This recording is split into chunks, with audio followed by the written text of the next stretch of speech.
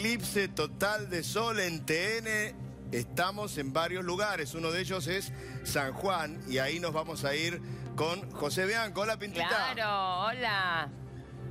¿Cómo andan? Estamos en la parte norte del Gran San Juan ya, donde en un ratito nada más vamos a agarrar la, ruta y se va a hacer seguramente todo eh, descampado.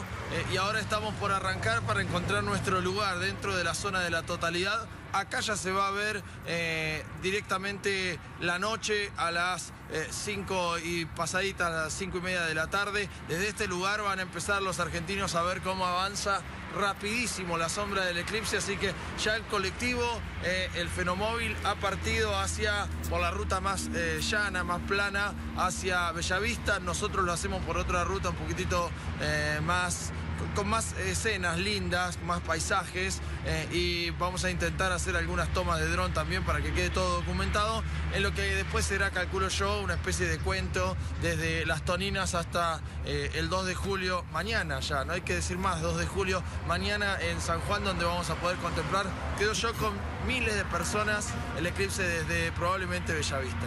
Eh, y pudiste encontrarte ahí con, porque vienen de todo el mundo, ¿no? Y veía que hasta turistas también que pagan cerca de 5 mil dólares. Un, un paquete bastante interesante. Bueno, no, no sabe...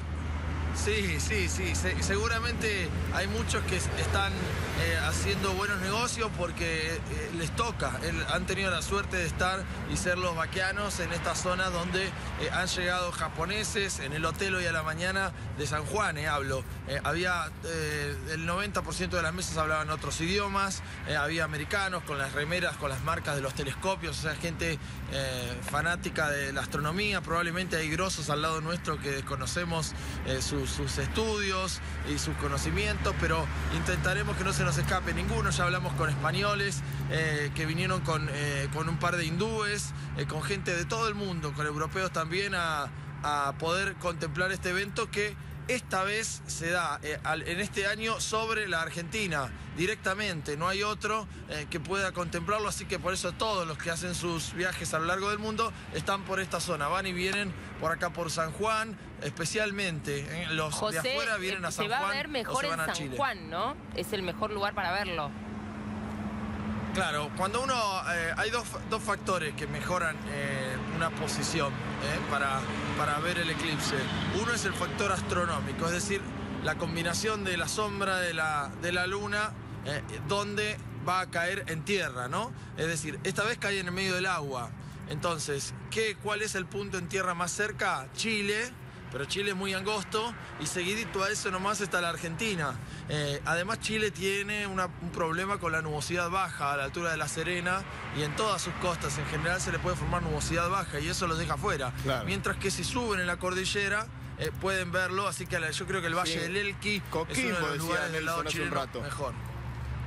Coquimbo también. Bueno, tienen que estar dentro de la delgada línea eh, de totalidad por arriba de las nubes. Ahora, del lado argentino, nosotros tenemos un cordón montañoso norte-sur, que es la cordillera de los Andes, que impide que esa nubosidad baja que se forma al lado eh, chileno y sobre el Océano Pacífico pueda pasar, porque Ahora, casi 5.000, eh, 6.000 metros de cordillera. Claro.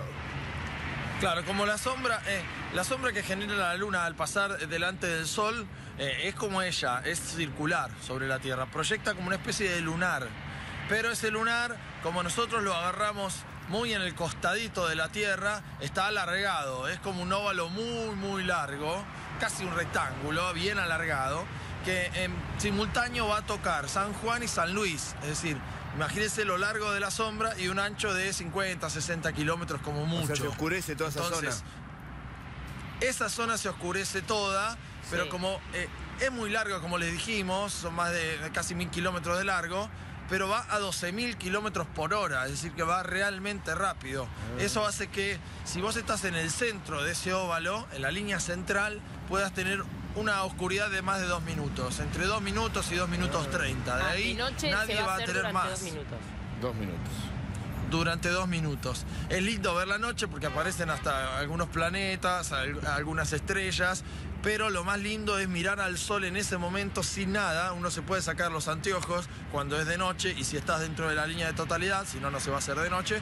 Y ahí sí contemplar al sol como nunca antes lo pudiste ver, porque cuando uno tapa con el dedo, no puede ver, porque alrededor hay como una especie de, eh, de aura eh, realmente brillosa que no te deja ver la corona. Ahora, esta es una oportunidad única para los que estudian al sol poder verlo con algo tapado delante, de una buena distancia, porque se ve todo lo que generalmente es imposible de ver, todas las coronas, el sol, todos los rayos, como decimos nosotros, del Sol que tiene que ver con las explosiones y las eyecciones de masa eh, que salen disparadas al espacio, que a veces generan las auroras boreales, eh, esos filamentos que tiene el Sol se van a poder ver a simple vista y eso es increíble, créanme, porque son, no es chiquitito, no es que tiene un pelito alrededor de eso, no, no, son como grandes llamaradas que se alejan a veces varias veces el tamaño del sol, es decir, son muy, muy grandes y solo se pueden ver en esta ocasión. Ahora, ¿y en, en la provincia de Buenos Aires se podrá ver, digo, para la gente que está acá y, sí. y puede hacer algunos kilómetros? Sí, sí, sí.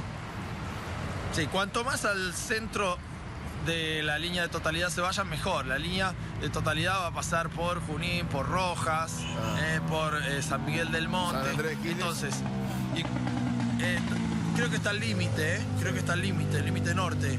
de ahí un poquito más al sur, Lape. Pero si se corren bien al oeste, entonces el sol en el momento del eclipse va a estar más arriba y se va a ver mejor. Se va a hacer más de noche, después va a volver a salir del sol, se va a volver a hacer más de día, todo eso si están bien al oeste. Si están cerca de eh, Dolores, por ejemplo, en el mismo momento en que el sol se está poniendo en el horizonte se eclipsa. Entonces se hace de noche y queda noche ya, porque es el horario nocturno. En cambio, acá va a pasar durante un horario de uno, ah, durante el día. Y después vuelve se va a hacer de noche, va a volver el día. Ah, Exacto. Ahora entiendo, está bien. Cuanto más al oeste te vas, más tiempo queda entre el, el, eclipse total y la puesta del sol, y entonces volvés a recuperar esa luz y eso es lo lindo. Ah, claro, Ay, qué romántico. Ay, sí. ¿Y dónde podemos ir nosotros? ¿Y cómo afecta a los distintos? ¿No te gustaría ir a la Laguna Chascomún? A mí me están diciendo que a vos te mandan a Ushuaia. No, pero no se ve ahí. Ah, pero me, te mandan igual. Ah, la verdad que no sé. Escúchame, José, y mañana... Ah, vayan a Ezeiza, sí. A Ezeiza. Ay, a los bosques de Ezeiza. Ay, Rosa. Bueno. A Ezeiza, ¿nos querés mandar a Ezeiza? ¿Por qué? Y bueno, porque... Sí, porque ahí eh, los porteños, el trayecto más cortito que tienen para quedar dentro de la totalidad es de entre Seizas y eh, Lobos, Cañuelas, eh, Pegasini. Ahí pasa 30, 40 segundos de noche. claro, ah, viene al sur y lo, lo, van a poder ver. ¿Cuánto dijiste, de, ¿Cuánto dijiste de noche? ¿30 segundos? Y si se quedan en el límite norte de la sombra, que es Pegasini, en Monte Grande, ahí apenas unos segundos. Pero si hacen 20 kilómetros más al sur o 30 kilómetros, ya están dentro de los dos minutos. Con lo cual es un tirón más que hay que hacer para disfrutar un espectáculo único.